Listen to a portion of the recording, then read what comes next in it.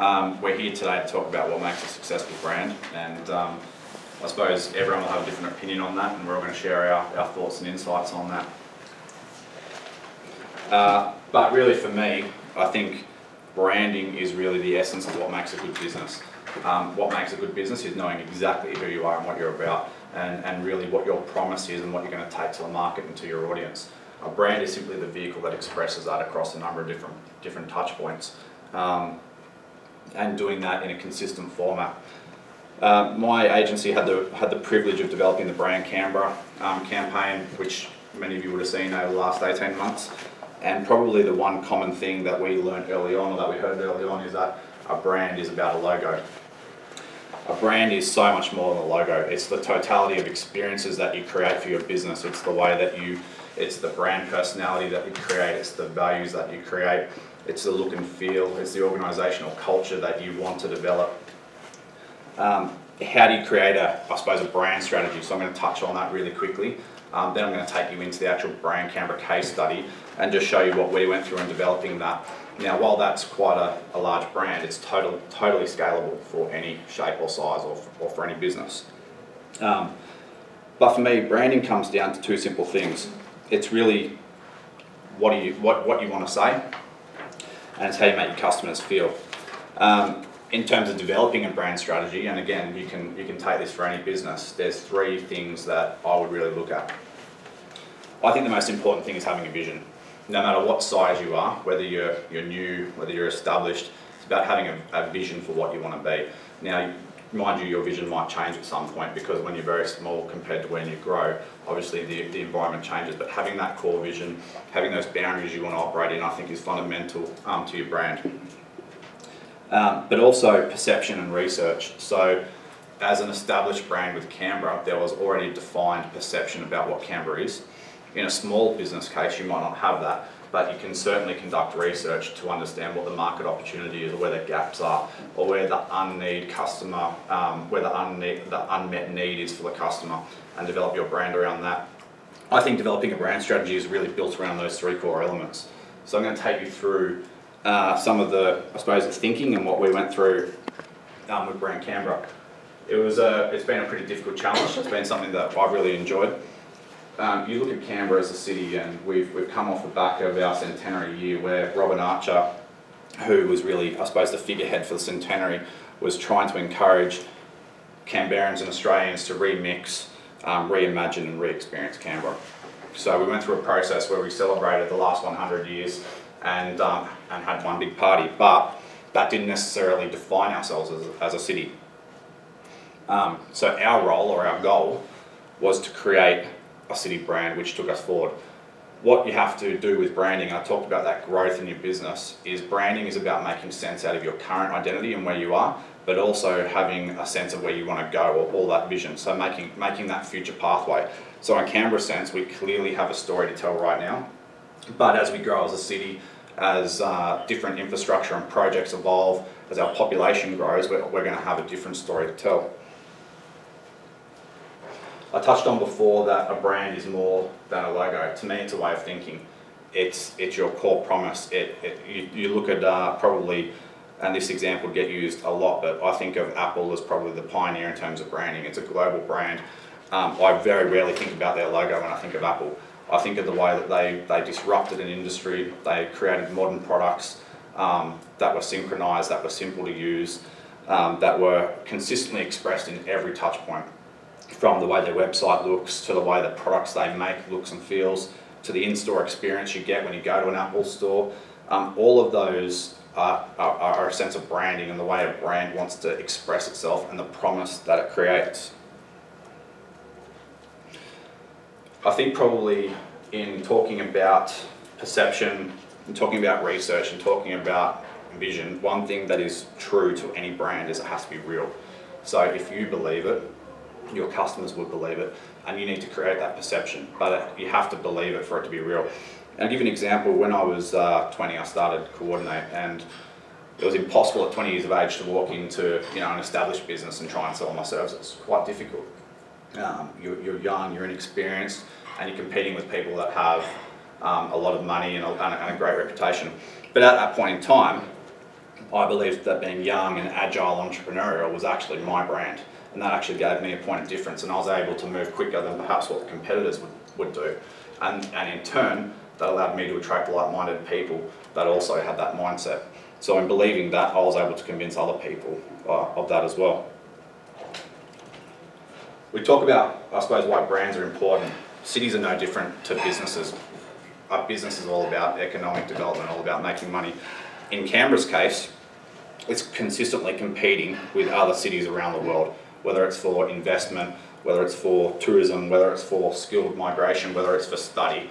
Canberra is consistently competing. Now, everyone here today who has a business will also be competing in the marketplace and standing out for, for attention. So a good brand will allow you to compete and to stand out.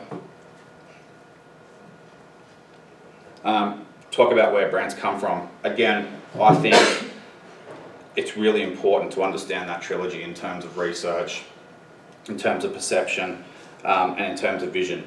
A good brand will come from, from those three elements. Now I'm going to talk to you in terms of how we develop Canberra's brand and just some simple tactics that you can put in place in your business um, in terms of developing your brand.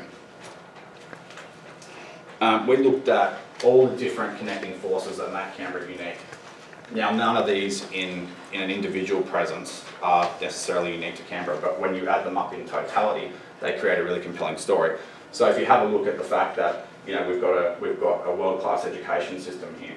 We are the seat of federal government, and because we are the seat of federal government, there are things that you can do in Canberra that you can't do anywhere else. Um, Amanda is a great example of selling our food and wine culture in Canberra. We have a thriving hospitality industry that is now rivaling anywhere in the country, and we're starting to get really great credibility for that. So when you pull, when you pull apart all those facts, and then you put them together, and the way that they work together, that gave us a bit of footprint for, for how Canberra's unique. In terms of your own business and how you could apply that in your own business, um, look at the different services that you offer and, and what makes you, you unique from your competitors or other people in the industry. Um, we then went through a process uh, called a values and attributes mapping process. And what we did is we got um, there was a number of different people um, that came together in a room and they were asked to put on, on just a, a, bit of paper and stick it on the wall. What are the values and attributes of Canberra's brand? Now you can definitely apply that in your business. Now whether it's through, um, whether you do it in your, on, on your own, whether you do it with mentors, um, whether you do it with colleagues, it's a really interesting process. What that defined is, again, I talk about research and I talk about um, perception, what people what people's perception of Canberra was in terms of its values and attributes as a city.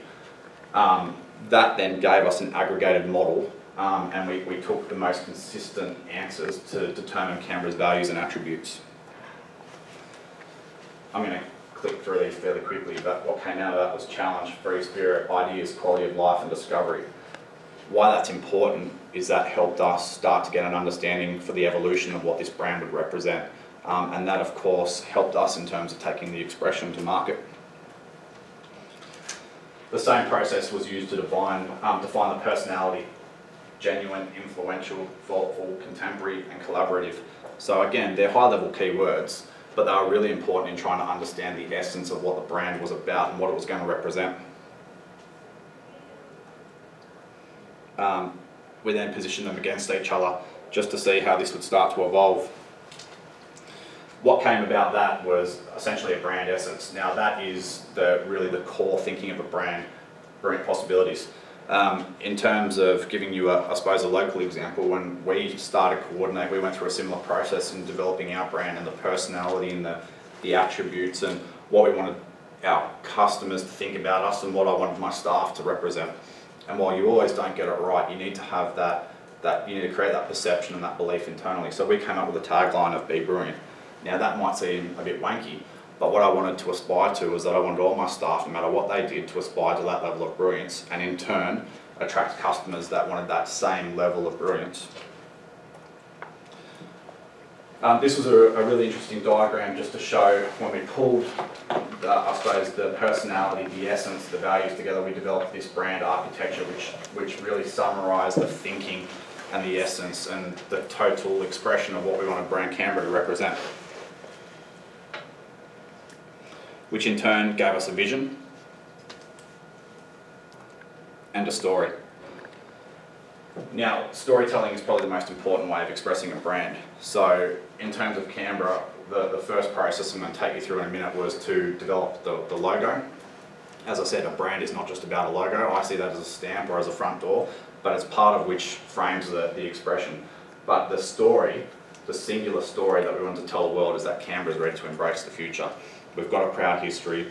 Um, we've, we've done a lot of great things you know, you, you only have to look at the momentum we're gaining in Canberra with the hospitality scene or with the discoveries that happen through research and science here to know that we've achieved so much, but now it's ready to look forward and the role of branding and that vision is to take us somewhere.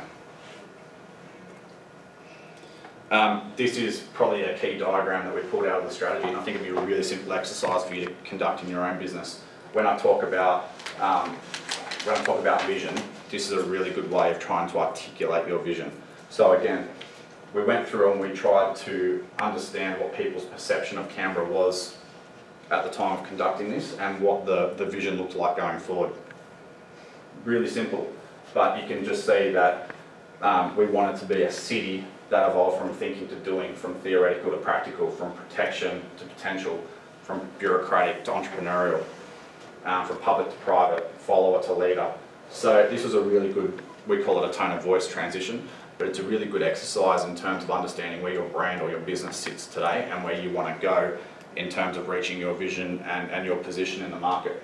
Um, that, of course, informed a lot of the direction in terms of actually formalising the brand and the expression. I've got a question. The uh, dots are positioned relative to how strong the, the way forward is. Is that what, like? Yeah, sure. Dots you obviously want to be a leader, so you've kind of extremed it on the right hand side, is that right? Absolutely, yeah. In relation to the other dogs, yeah? Yeah. Okay. Part of branding, again, is the key messages. What do you want to tell your audience? What do you want people to know about you? Um, part of the process was just extracting a couple of key messages which really summarised our brand and what we want to say.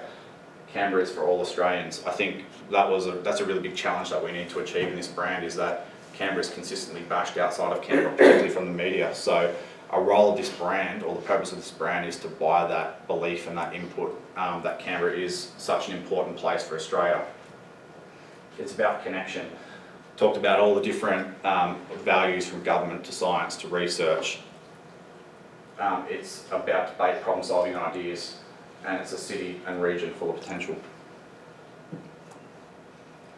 Um, when we got to the end of that, that really defined, I suppose, the strategic thinking and gave us a really good sense of what we wanted this brand to represent. Trying to translate that into to visual is a, is, a, is a pretty difficult challenge. So I'm going to take you through a creative strategy. I'm not going to spend long on it because I know Claire's going to talk about um, visuals. But basically in developing this brand, there were three pillars we looked at. How can you make it different? Because again, we're, we're competing in a crowded marketplace for investment, for study, for tourism. But how can we still make it credible and relevant? And I talked about the fact that brands have to be true, they have to be authentic um, to really resonate.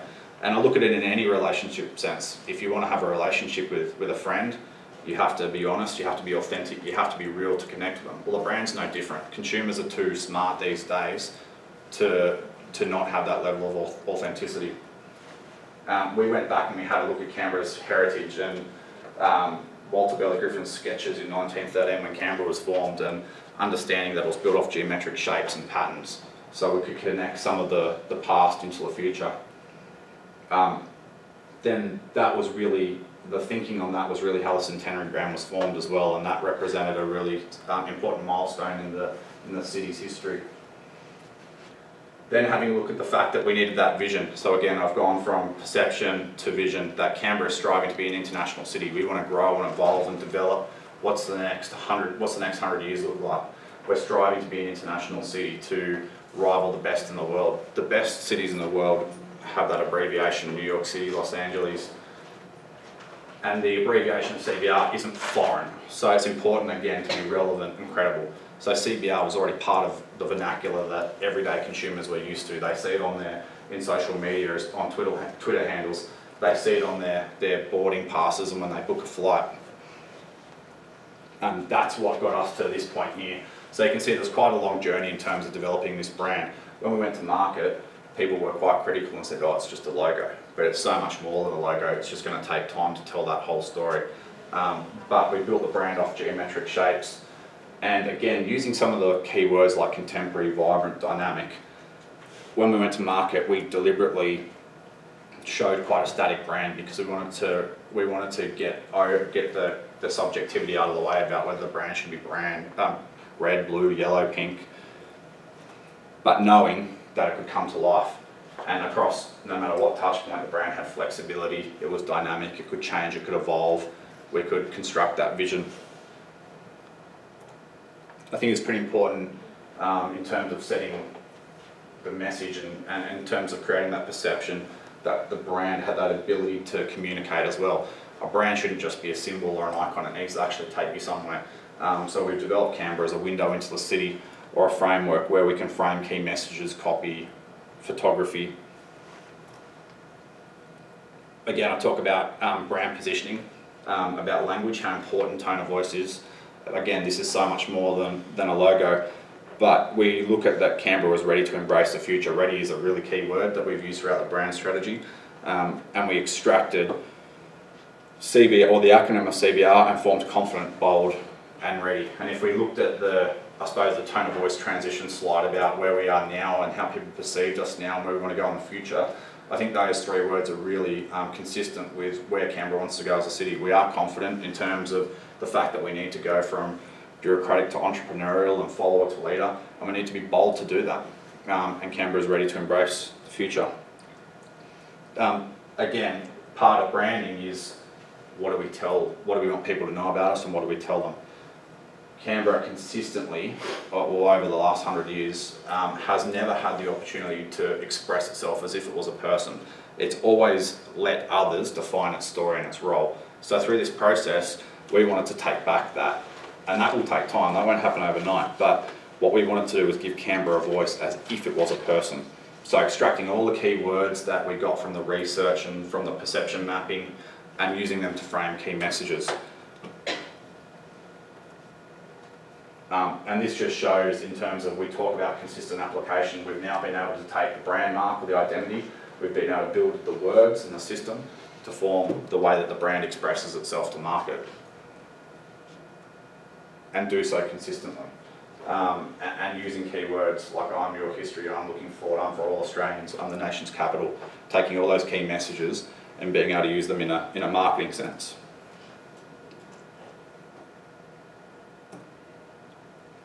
So these are just a few touch points just to illust illustrate the brand's diversity and flexibility.